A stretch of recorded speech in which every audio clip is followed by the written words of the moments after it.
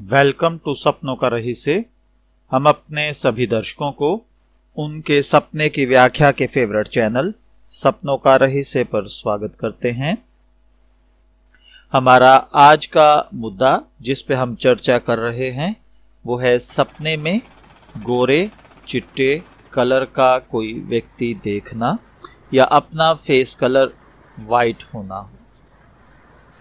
अगर कोई व्यक्ति सपने में देखे कि उसका फेस जो है वो प्रैक्टिकली तो इतना फेयर नहीं है, लेकिन सपने में वो देखता है कि उसका फेस जो है वो व्हाइट कलर का हो गया है।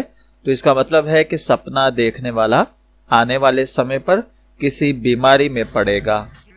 और अगर कोई व्यक्ति सपने के अंदर ये देखता है कि उसके गाल का कलर व्हाइट हो गया है तो इसका मतलब है कि सपना देखने वाले को आने वाले समय पर इज़्ज़त, शोहरत और अच्छा नाम मिलेगा। और अगर कोई व्यक्ति सपने में देखता है कि उसका बेटा जो है, वो रियल में ब्लैक कलर का है, लेकिन सपने में उसका कलर चेंज होकर व्हाइट हो गया है तो इसका मतलब है कि सपना देखने वाला अगर अपनी प्रैक्टिकल लाइफ के अंदर कोई टेंशन और प्रॉब्लम को फेस कर रहा है तो वो उससे मुक्ति पाएगा। और अगर कोई व्यक्ति सपने में ये देखे कि उसका प्रैक्टिकली कलर जो है, वो व्हाइट है लेकिन सपने के अंदर ब्लैक हो गया है तो इसका मतलब है कि सपना देखने वाला आने वाले समय पर लॉस उठाएगा। मैं आशा करता हूँ कि आपका सपना आपके लिए अच्छी व्याख्या बने।